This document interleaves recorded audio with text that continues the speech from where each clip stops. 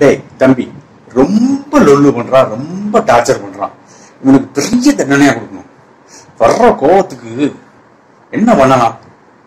கத்தி துப்பாக்கி அருவா என்ன பண்ணலாம்? அவ்வளோ அவ்வளோ கோபம் வருது. கவலைப்படாதீங்களே நீங்க எதுவுமே பண்ண வேண்டாம். அவனே அவனுக்கு தண்டனை கொடுத்துக்கிட்டான். நீங்க நினைக்கிறத விட பெரிய தண்டனை. கவலையே படாதீங்க.